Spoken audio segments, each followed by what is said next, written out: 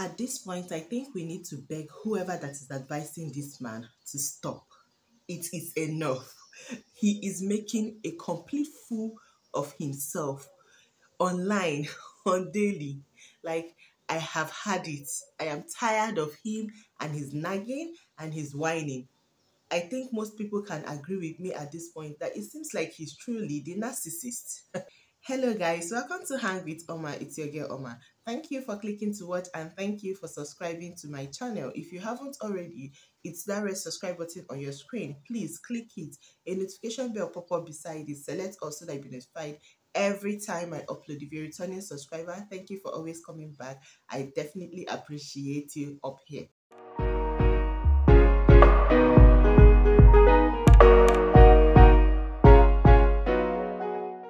So update. Um, I saw a video of Justin and Korra from before the whole saga. Um, they were having a misunderstanding and they've been quarreling. According to the video, they've been quarreling all day. And the reason for the quarrel was because okay, Korra didn't want to say, but Justin said that is because Korra don't want to take business advice from him. According to Justin, he has been advising Korra on things she can do to earn more money from her social media platforms. He was insisting that views and likes that she gets does not equal the money in her bank account. And he's giving her advice of things she can do so that she can get more money out of her social media platform. Apparently she's not taking the advice that he's giving so hence the quarrel. Recently um they had a serious altercations verbally of course. Justin came to take the kids. He was supposed to get them for a day like take them up in the daytime and return them towards the evening but he kept them for four days and when he returned them according to Korra's friends that put out the statement because Korra herself have not actually said anything. So according to the friend that put out the statement, um, Athena, that's the little baby of a month, has some scratches and some red red patches on her body.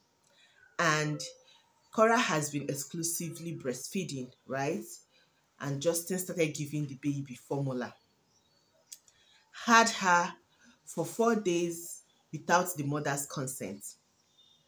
So he brought them back and he's telling um he's telling Korra that he wants to take both June and the baby with him that he will keep them with him until the divorce is settled and then the custody has been the custody situation has been addressed and Korra was like you want to take Athena with you too and he said yes and Korra said Athena is just a baby he said he does not care. She's breastfeeding, that he doesn't care. so at this point, Justin doesn't care about the welfare of his kids from his mouth. He just wants to be. He just wants to take things, make do things that he believes that will hurt Cora. Let's not forget that he was the first person that came online and said she was a narcissist and she was a cheat. And when people start saying, ah, so that means the kids does not belong to you, you are not sure if they are your kids, he came back and said, oh, she is definitely a cheat, but she did not cheat on him, but it was at the beginning of their relationship, so the kids are his. Okay, we hear you. And he is um, saying that social media is the reason why his relationship fell apart. Korra has been on social media for a very long time, you guys. She has been on social media for a very long time. All these things that have been happening, she still comes on live, she still dances, she still does. Her lives are not as long as they used to be but she still comes on she still dances she still shows cooking and all of that that she used to do before but the difference is that she does not talk about justin she does not address any rumor. She does not address the situation at all.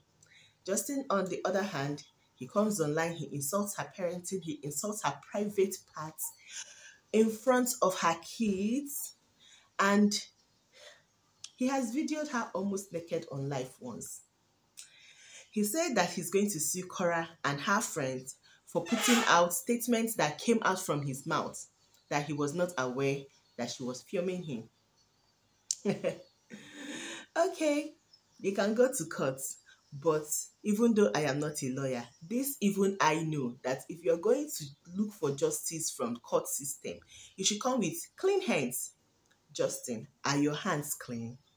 Are they? because you filmed your wife when she wasn't even dressed, trying to bond with her baby, screaming, Repeat what you said, repeat what you said. That does not seem like breaking of confidentiality to you. That doesn't seem that you did it first before her friends, not even her, did it. That she's saying terrible things and defaming your character and your personality, but you are calling her a narcissist and a cheat. That is not defamatory comment, Abby. So you can look for justice all you want, but your hands are dirty. And I hope that the whatever lawyer or whatever court or whoever that is advising you will tell you that you do not go to look for justice from the court system with dirty hands. Justin, you don't do that.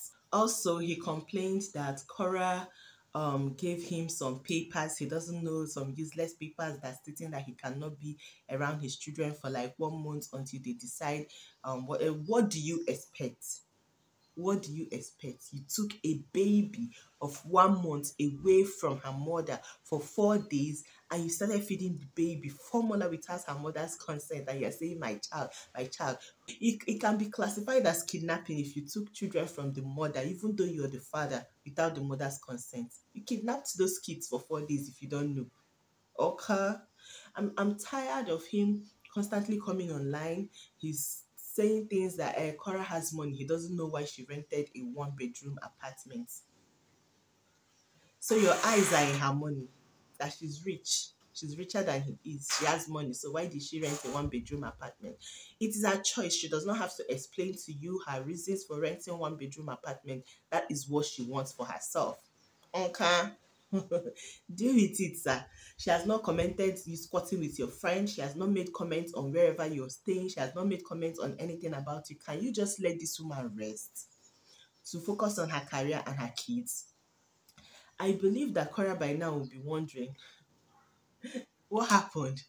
Because sometimes you marry someone and you believe you know them and you believe that the love you guys have can pass through or get through whatever misunderstanding. I mean, Cora and uh, Justin are not the first um, biracial couples to get a divorce. There are another biracial, Nikki, Nikki Thoughts. They were very popular on social media. Um, and when they got divorced, they had two girls as well we knew that they were going through divorce. We knew that things were not really nice, but they kept it off social media. People were making accusations. Some people say Nikki cheated. Some people say Jeremy cheated. Jeremy or Jeremiah, whatever. Some people say that he cheated, but they never addressed the situation and they never got to the point that they were trashing each other online.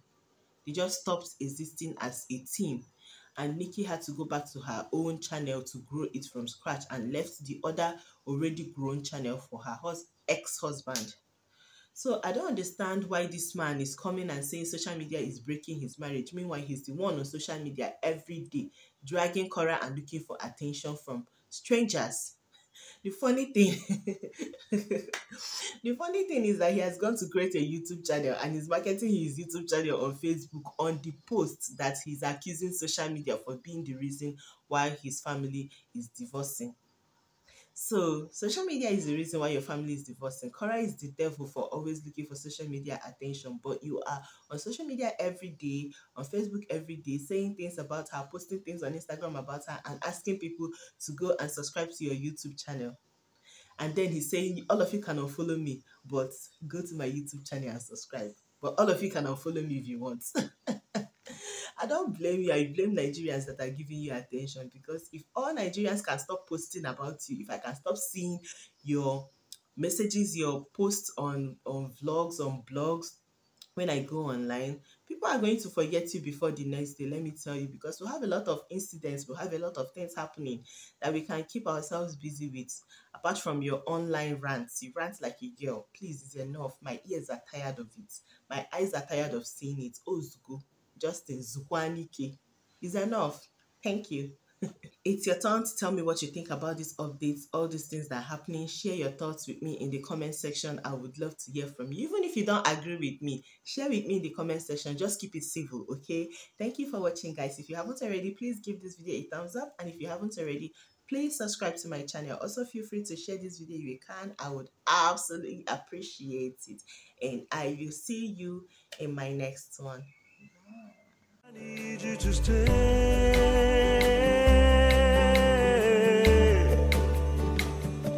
need you to stay.